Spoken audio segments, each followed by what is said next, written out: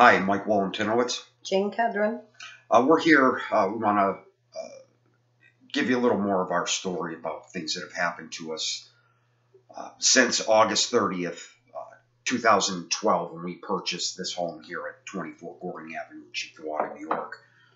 Uh, at the time we purchased this home, it was affordable, humble, and absolutely perfect property for a senior disabled couple.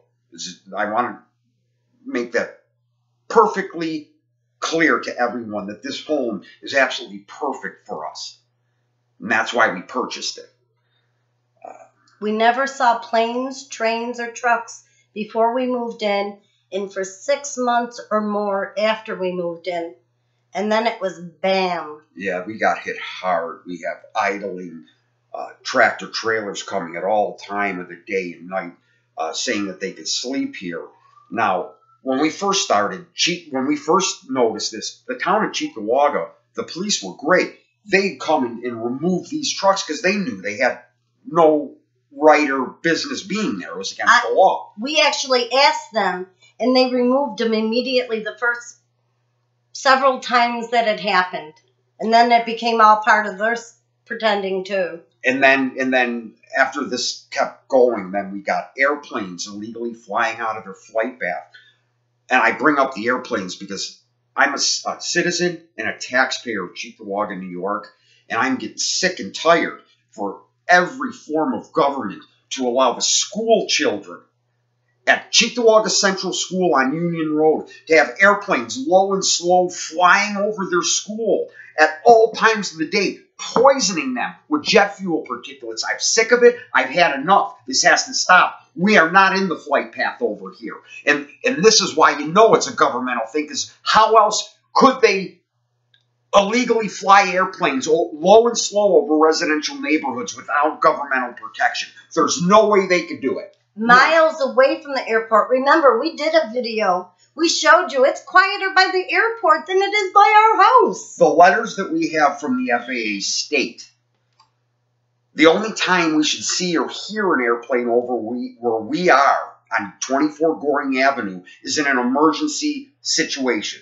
Yet, every day, all day, NFTA at Buffalo Airport Southwest, Frontier, JetBlue, FedEx, UPS are flying these airplanes low and slow where they don't belong. And they're poisoning school children, and I am sick and tired of it. And making sure they're low enough to make as much noise as possible as they fly over us. And every morning to wake us up. It, it, and then if that's not good enough, they bring the semi tractor trailers in to do it. And there's no reason for tractor trailers to be delivering in a residential neighborhood. Remember, there are laws that are supposed to be protecting people just like us that were written for this type of situation that they're completely ignoring and pretending don't exist here.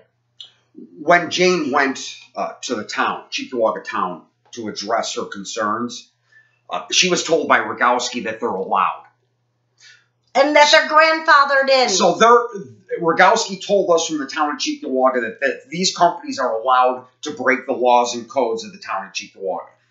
According to Adam Schiff, a United States senator, that no one, congressman, sorry, no one in the United States is above the law, and that includes these criminals that are attacking us on a daily, daily basis. The town of Cheektowaga has no right to say who can and cannot break the law. These are traffic violations. These are pollution, clean air laws, and basically human rights violations Zoning. that are perpetrating against us on a daily basis. We've had I trouble sick of it. with lawyers. We've had trouble with the post office. We've had trouble with utility companies. We've had trouble with anyone that was supposedly out there to service us. There is no way this happens to, oh, and of course the fraudulent pretend sale of our home. Of our home. That never, obviously there was never a sale, but that's how they got us out of our house to flood it and cause all this other chaos in our lives. Our point. And yeah, I'm sorry. I'm the only thing I have is my big mouth. I'm four foot ten and maybe ninety pounds. All I have is my mouth. No, I am not a violent person, but gosh darn it, aren't you sick of being treated like a piece of shit? Uh, you would be.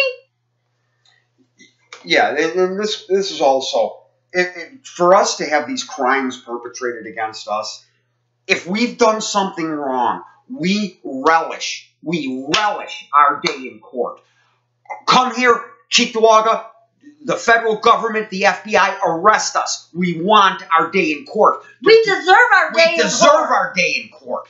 Instead of just trying to make it look like we're crazy Yeah. and violent, Yeah. how about just doing your jobs? Yes, that was a good one.